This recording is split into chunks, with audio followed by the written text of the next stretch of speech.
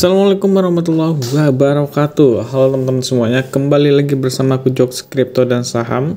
Oke jadi kali ini kita bakalan bahas Ataupun kupas tuntas Untuk hmm, update Bitcoin pastinya teman-teman ya. Nah jadi ini udah lama sih sebenarnya kita nggak bikin video Karena ada beberapa kesibukan mungkin ya teman-teman Nah jadi kali ini kita coba untuk Melakukan analisa harian Terhadap Bitcoin dan juga ya Pastinya kita mau cek dulu lah harganya Bitcoin ya. Nah jadi untuk teman-teman semua semuanya uh, silahkan tonton aja video sampai habis ya. Dan jangan lupa like, komen, dan subscribe. Untuk kalian juga yang mau bergabung ke dalam grup telegram silahkan linknya ada di deskripsi teman-teman ya. Nah jadi kalian bisa langsung cobain aja tuh oke untuk uh, yang sekarang kita coba lihat ya di sini untuk harga Bitcoin sendiri di 29444 dan kita akan coba update nantinya teman-teman. Nah, terus di sini untuk harga IDR-nya sendiri kurang lebih 442 juta 900 ah, anggap aja 443 juta ya. Nah, untuk crypto Fear and Greed-nya uh, sekarang di netral 50, jadi jangan kejebak sama sideway. Biasanya orang-orang yang kejebak sama sideway itu banyak minusnya, biasanya ya teman-teman ya. Nah, jadi jangan terlalu berambisi.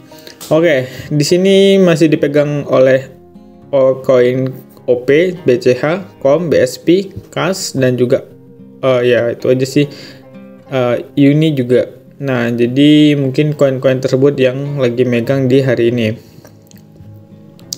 Nah, untuk Bitcoin sendiri secara daily-nya itu naik 0,5, tapi tidak berlaku untuk Ethereum. Biasanya kalau Bitcoin naik, Ethereum naik, tapi ini mungkin belum ya, karena naiknya nggak seberapa besar lah gitu. Nah, jadi ya mungkin belum impact-nya belum besar banget untuk market. Nah, untuk uh, yang berikutnya di sini kita lihat dulu dari news ya. Hari ini tuh ada tujuh teman-teman ya. Ada dari Cina gitu ya terus kita lihat apakah ada yang untuk dolar nah biasanya kalau untuk dolar itu itu yang menjadi uh, masalah besar di market gitu ya ini untuk euro ini biasanya pemain-pemain forex ya Nah ini pemain forex silahkan cek-ceknya di sini aja. Nah mungkin nggak ada hari ini untuk yang dolar. Untuk besok apakah ada untuk dolar?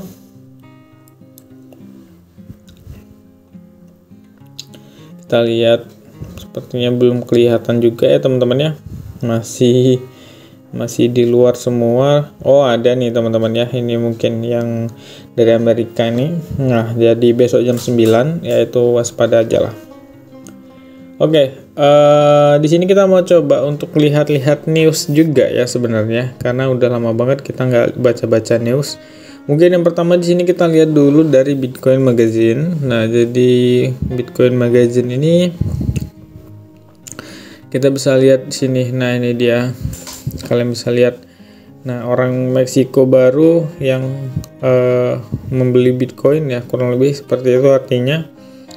Nah, jadi di sini kalian bisa lihat Spearhead Bitcoin Adoption in Latin America. Nah, jadi Bitcoin itu udah diadopsi di Amerika Latin. Terus di sini kita lihat lagi. Nah,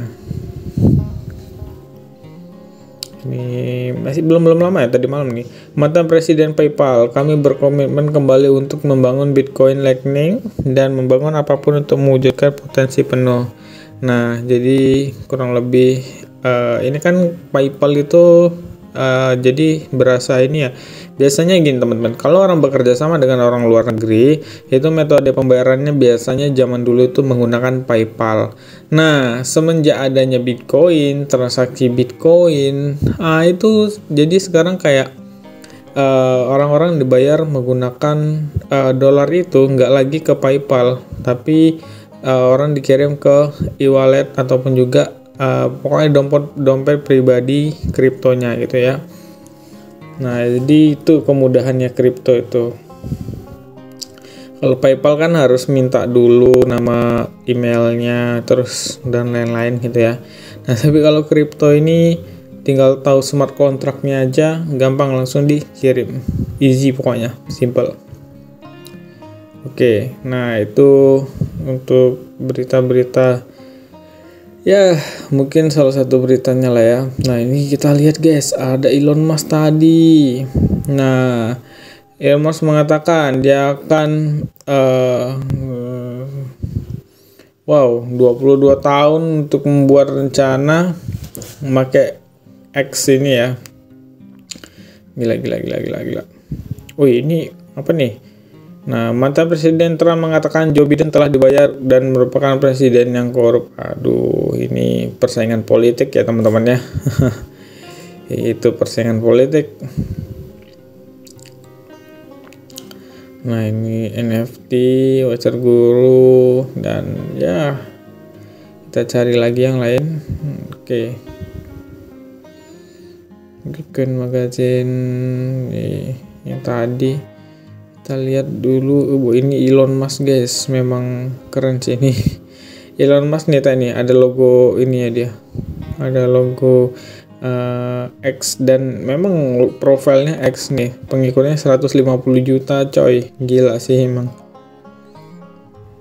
Nah Oke lah gitulah kalau untuk news kayaknya mungkin kalian memang harus baca sendiri teman-teman ya.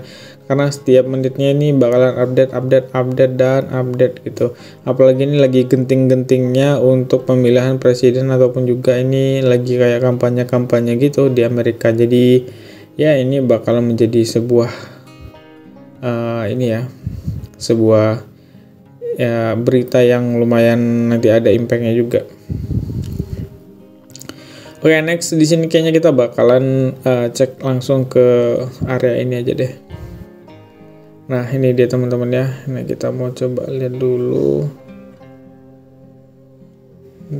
Kita coba lihat dulu teman-teman ya. Ini untuk Bitcoin ya. Kalau uh, kita lihat sekilas, ini sih kayaknya masih gini-gini aja ya Bitcoin. Belum ada perubahan karena memang masih sideways gitu-gitu aja.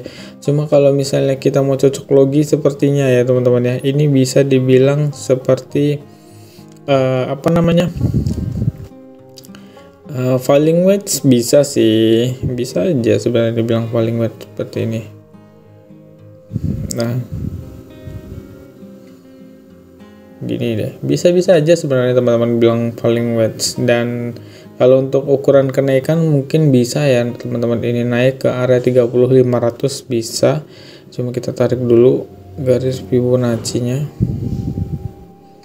nah gak usah jauh-jauh deh berarti. Emang ke area sini aja bisa sih teman-teman. Area 30.000 aja dulu bisa sih. Jadi nggak usah terlalu jauh. Ini bisa ke area 30.000 dulu dan ya kurang lebih seperti itulah untuk bitcoinnya. Ke area 30.000 dulu. Nah itu mungkin bisa naik. Tapi kalau misalnya kalian ukur menggunakan uh, price rank ya kita nggak tahu ya ngambil yang depan. Yang depan kadang juga masih nggak sesuai gitu ya. Kita ambil yang sini aja deh. Kita anggap di sini aja deh ya. Kita ambil 4% dan di sini kita coba. 4 persennya yang naik itu bisa ke 3500 teman-teman ya. Nah jadi ini bakalan naik sih ke 3500 atau ya pokoknya 30.000 sekian lah ya. Nah ini 4% jadi silahkan teman-teman kalau mau coba untuk long bitcoin masih ada waktu sih. Jadi kalau misalnya ini udah naik kalian tungguin aja nanti update berikutnya Oke, jadi gitu aja lah. Thank you udah nonton. See you next time. Assalamualaikum warahmatullahi wabarakatuh.